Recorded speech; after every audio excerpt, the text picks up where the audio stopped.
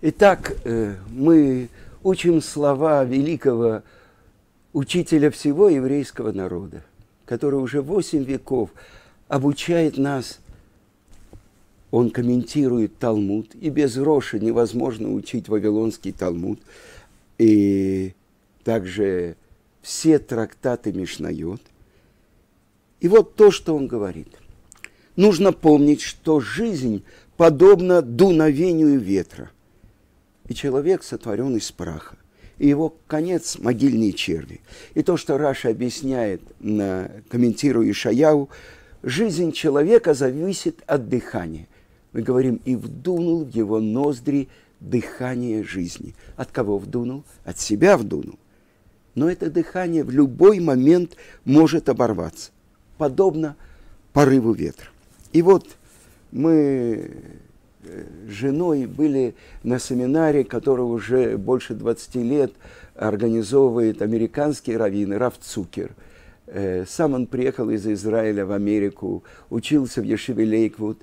И вот когда, еще я помню, э, в 90-м году уже он начал привозить э, и устраивать лагеря для евреев, для юношей и девушек отдельно – э, семинары такие, и привозил э, религиозных юношей, религиозных девушек, э, чтобы они обучали своих братьев из Советского Союза, еще был Советский Союз. В 91 году, когда вошли танки в Москву, когда Ельцин стоял перед Белым домом, э, и когда была реальная угроза, что танки будут действовать и будут стрелять по Белому дому. Уже э, группа Альфа находилась там, э, московские жители, они собрались там и погиб во время вот этого августовского путча два не русских человека и один еврей. Этот еврей Илюша Кричевский. 28-летний московский архитектор.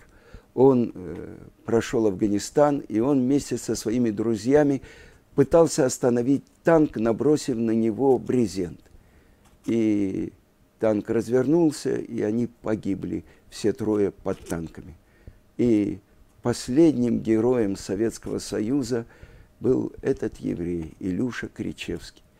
Ну, буквально недалеко от того места, где он погиб, мы в будущем это называлось Ешива Торат Хаим, а тогда это был центр изучения Торы Бейт Мидраш, как раз на улице Садовой, по другую сторону от американского посольства, э, недалеко от Калининского проспекта, я не знаю, как сейчас он называется.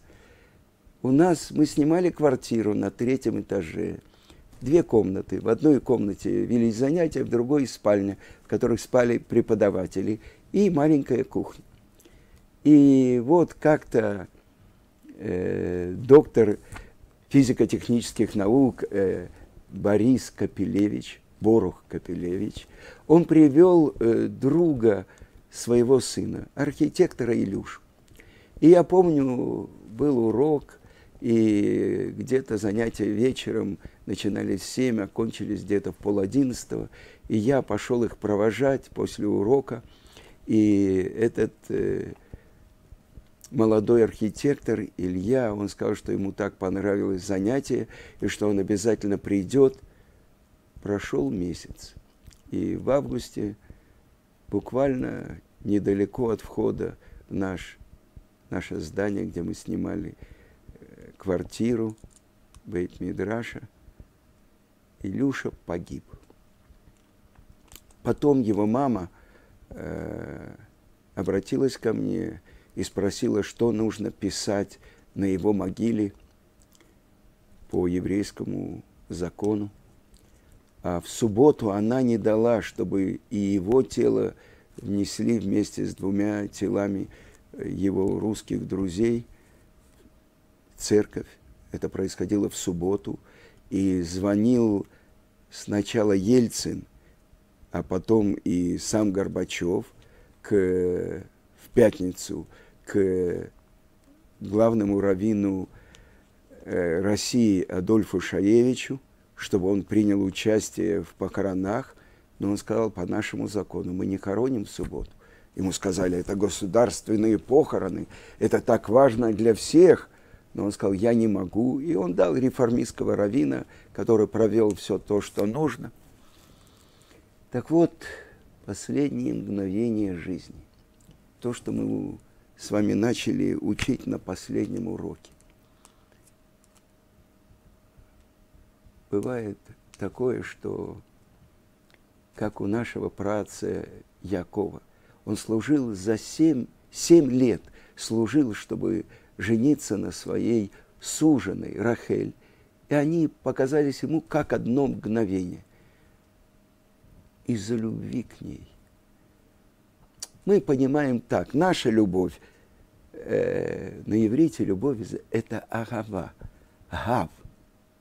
Дай, дай. Так оказывается, наши мудрецы открывают. Чем больше я отдаю от себя, тем больше я люблю то, кому я отдаю. Поэтому, например, родители больного ребенка, они любят его больше, чем удачных, здоровых детей. Почему? Они больше в него вложили. Больше ночных часов недосыпа, больше лекарств, больше врачей, больше переживаний, больше псалмов. Так вот, это то, что Яков, он так любил Рахель, что эти семь лет показались ему как одно мгновение.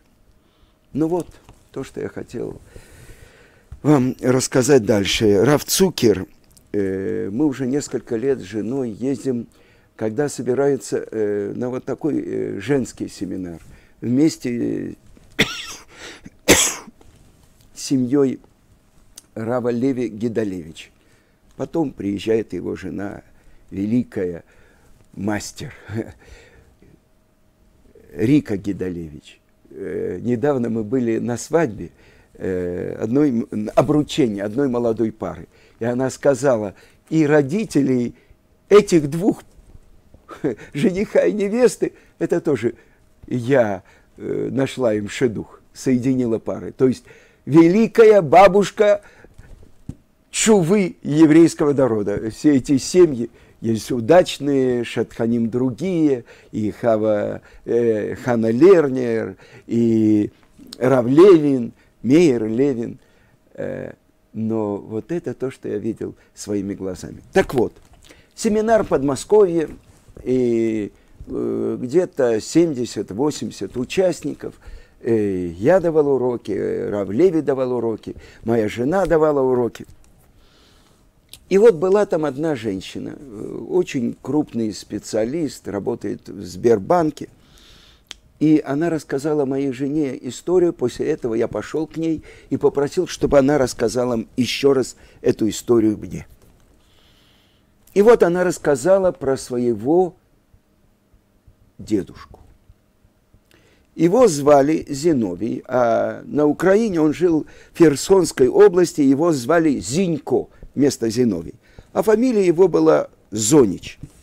И он был еврей, который умел э, работать на земле. Он арендовал 200 гектаров земли, и было у него много пшеницы, много скота, э, работники. Сам он приехал из, э, из Литвы.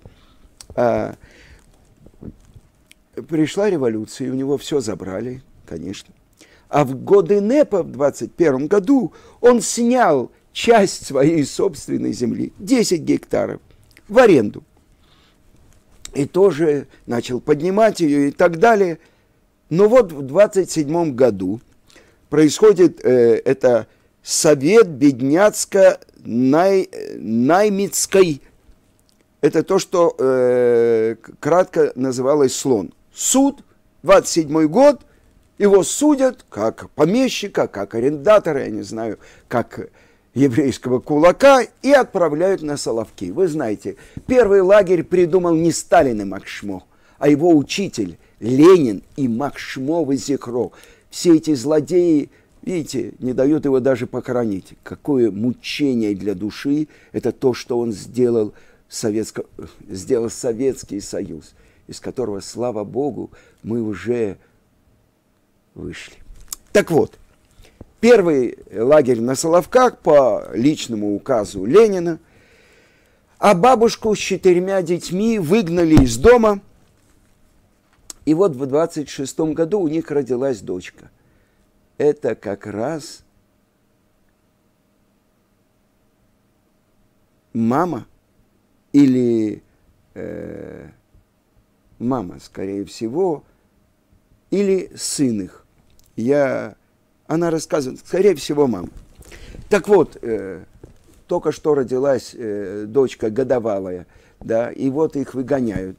А куда идти? Родственники выкопали землянку, знаете. И вот четыре года он уже на Соловках, сколько, какой срок ему дали, я не знаю, но совершенно невозможно было оттуда выбраться, убежать, вокруг болота. И вот что он делает, этот Зинько. Он подговаривает еще двух человек бежать. А это только-только э, поздняя осень, лед тронул землю, подмерзло немного это болото, и вот ночью они проползли под этой э, колючей проволокой и долезли до перекопа. А в лесу они договорились, они разбежались на три стороны. До них, это 30-й год, не было ни одного побега из Соловков. И вот он бежит, бежит, бежит по лесу, пока были силы. И это уже раннее утро, и он слышит вдалеке лай собак и топот копыт. Это охранники на лошадях гонятся за ними. И он понимает, что это конец что когда в лагере кто-то из заключенных уже доходил, в Советском Союзе не нужно было ни газовых камер, ни душегубок. И этого доходягу бросали собакам. А видно, собак не кормили, и они разрывали его на части. А потом съедали. И вот, когда он услышал этот лай, он понял, что бежать бесполезно. Он вжался в дерево, обхватил его руками и начал произносить 91-й псалом царя Давида. Йошев Бесесер Элион, Бецель и Слонан, посвященный в тайны Всевышнего, под сенью всемогущего обитает. Скажу Богу, ты мое прибежище и моя крепость, мой Бог, на которого я полагаюсь. Ведь Он спасает и от сетей ловца, и от губительного мора. Своим крылом Он укрывает тебя. Под Его крыльями ты обретешь защиту.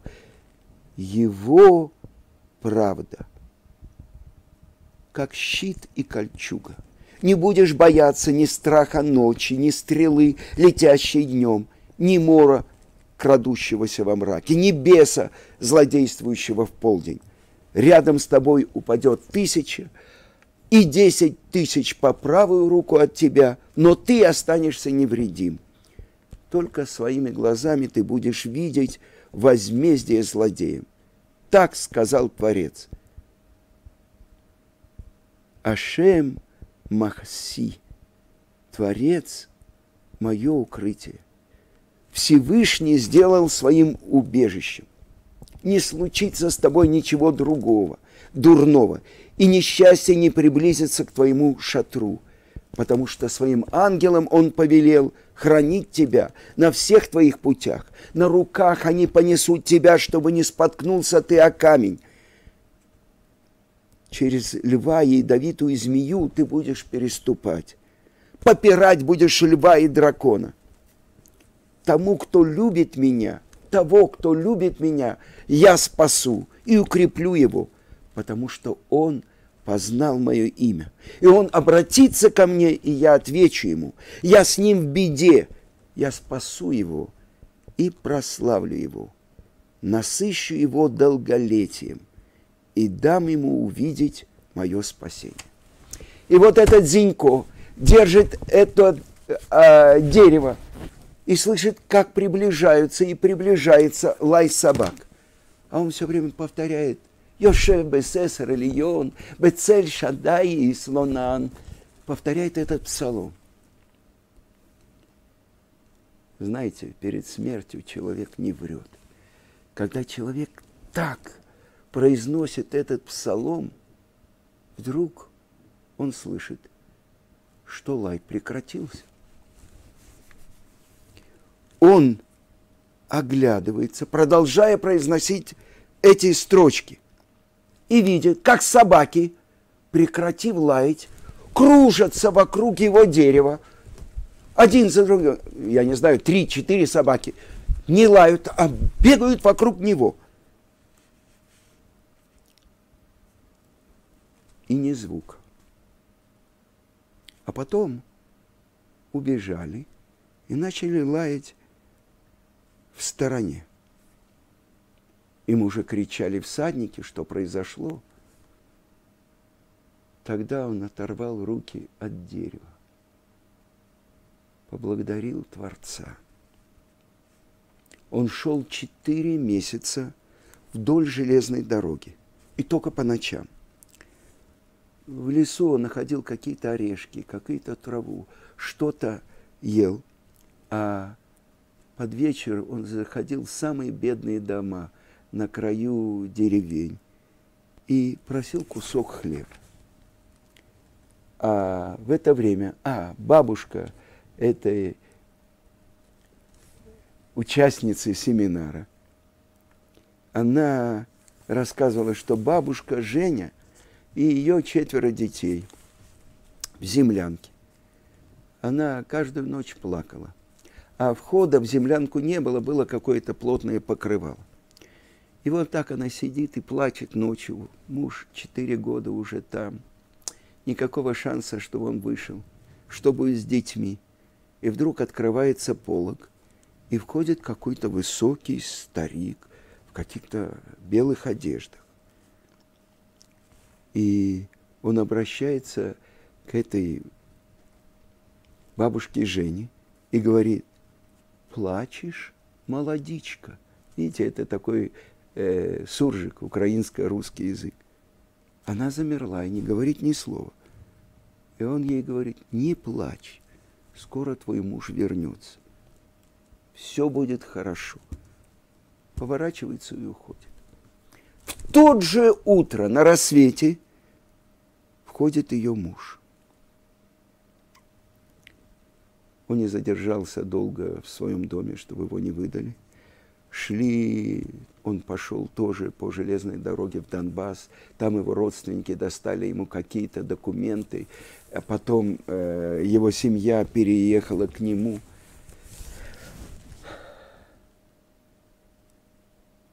Что это такое, когда человек произносит эти слова царя Давида?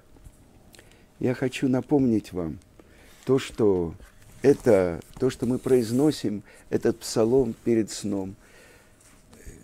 И в Талмуде сказано, что это защищает от всех сил нечистоты, всех мазиков, которые выступают вечером, это их время, когда заходит солнце, выходят звезды, это время, после полуночи уже начинается новый день. Но это их время. Так э, этот псалом, 91-й псалом, то, что благодаря Духу Святости восстановил царь Давид, на самом деле сказано в Талмуде, 10 старейшин составили 150 псалмов царя Давида. Есть те как, псалом, который составил первый человек, это 91-й, который составил наш учитель Моше. Есть три сыновья из сыновей Короха, э, наш пратец Яков. Но вот я задал этот вопрос э, самому э, великому мудрецу нашего поколения, которого называется министр Торы, Сара Тора, Равхаим Каневский. Я написал ему вопрос, как это э, составил царь Давид – Э, это он получил по традицию или через Руаха Кодыш, духом святости. Руха Кодыш – это ступень чуть ниже пророческой. И он мне написал два слова. Бероха Кодыш. Так вот, то, что на Талмуд открывает, и то, что э, объясняют комментаторы, в тот час, когда Моше Рабейну поднялся на небеса, он сложил этот псалом.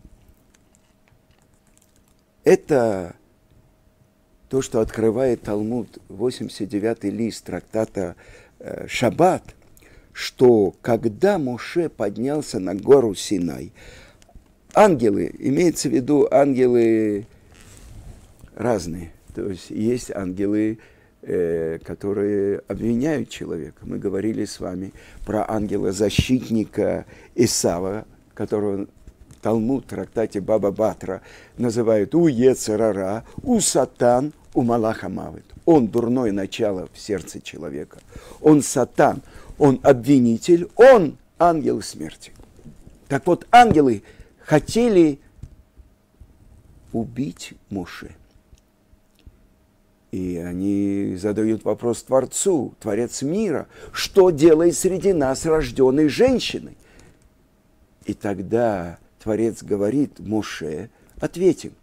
Говорит Моше, я боюсь, чтобы они не сожгли меня паром, который выходит, огненным паром, который выходит из их уст. И тогда Творец говорит ему, возьмись за престол славы моей и ответим. И вы знаете, то, что мы получили по традиции, мы знаем, что есть четыре мира. Наш материальный мир – над ним есть мир ангелов, над ним есть мир престола славы Творца, и, наконец-то, над этим полностью духовный мир, в котором появляются буквы святого языка, то есть имена Творца, которые управляют всеми тремя мирами работы. Так вот, мир престола славы Творца – это Оламбрия, там, где каждое мгновение творится творение ниже его находится мир ангелов, мир Яцера, ангелы-посланники Творца. Так вот, возьми за престол, за ножку престола славы моей и ответим. Так говорит Творец Моше. А мир престола славы, он выше мира ангелов. И Моше отвечает им, ведь если вы говорите, что Тора должна остаться на небе. Есть уровень Торы, который имеет отношение к ангелам, но есть уровень Торы, который имеет отношение к нам. И что же он им говорит? Вы в Египет спускались, что первое речение, к которому обращается Творец к еврейскому народу – Анухи Ашем Локеха, Ашер Тихо Мерец Мицраим Мибейта Вадим. Я, Бог Всесильный твой, который вывел тебя из земли египетской, из дома рабства. Вы спускались в Египет, вы там были рабами фараона, что вас надо было выводить. чтобы не было у тебя никаких других божеств перед моим лицом. Вы знаете, что такое служение идолам – у вас есть отец и мать, которых вы должны почитать. Последний аргумент. Клюм ецерара ешбахем. Если в вас дурное начало, которое вы должны благодаря Торе победить, и сказано, что ангелы из врагов превратились в друзей Моше Рабейну, и каждый из них дал ему подарок. И даже ангел смерти, тот самый Сатан – который воевал с нашим працем Яковом и открыл, что его имя Израиль, он тоже дал подарок нашему учителю Моше. Он научил его, что эти благовония, 11 составляющих благовония Питума Кторет, это защита от ангела смерти. То, что мы учим, то, что мы хотим понять, может быть, других беглецов достигли эти собаки. Но вот этот еврей, который произносил этот 91-й псалом, то, что составил Муше Рабейну, чтобы защититься от ангелов, это то, что спасло его. Рядом с тобой упадет тысяча, тысячи шедим, бесов, падут по правую и левую руку от тебя, но к тебе не притронутся, и ты останешься невредим. Много тайн заключено в этом псалме. Но то, что я не мог не поделиться с вами этой историей, которую я услышал на семинаре. Человек, который так полагается на Творца, так связывает себя с Ним, что все остальные силы, силы нечистоты, эти собаки, это только внешнее проявление того могучего колоса зла, которое было построено в этом нашем Советском Союзе. Он на наших глазах распался, как карточный домик. Когда я был с Гаоном Равмойши Шапиров первый раз на Красной площади, и он увидел мавзолей с внешней стороны, и он видел Кремль, он сказал, Цви, отсюда страх выходил на весь мир. Они же боролись за мир во всем мире. Все войны, которые руководились э, народно-освободительными движениями, это все планировалось в этом месте. Это отсюда страх распространялся на весь мир. А что в этом? Ничего. Как дым, как туман. Карточный дом. Думали, дунули, и он распался.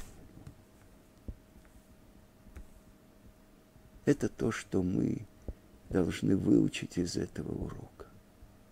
Эйн от милеваду нет ничего, кроме Него. И тот, кто от всего сердца связывается и постигает эти слова, никакие силы не могут действовать против него.